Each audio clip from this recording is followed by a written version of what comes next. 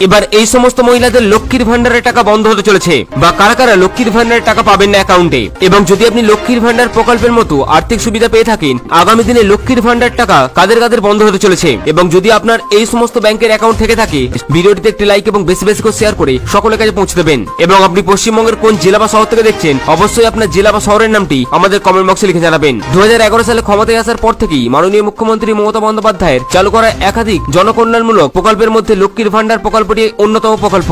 তবে শুরু থেকেই লক্ষ্মীর ভান্ডার প্রকল্প নিয়ে একাধিক সমস্যা ও অসুবিধা দেখা যাচ্ছিল আবেদনকারীদের আবেদন সংক্রান্ত নথিপত্রে।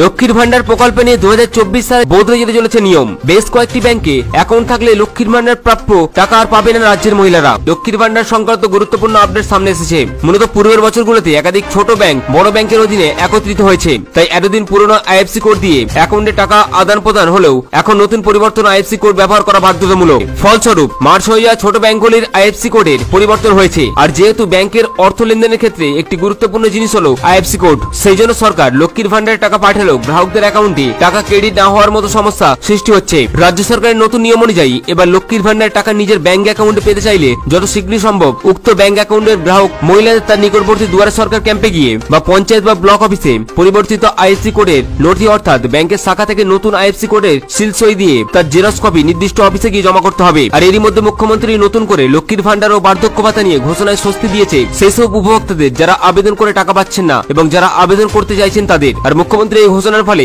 খুশি হয়েছেন অনেকে। তাই লক্ষ্মীর ভান্ডার সুবিধা গ্রহণ করতে অতি শীঘ্রই উক্ত ব্যাংকের গ্রাহকদের দুয়ারে সরকার ক্যাম্পে অথবা পঞ্চায়েত বা ব্লক অফিসে পরিবর্তিত আইএফসি কোডের নথি জমা দিতে হবে।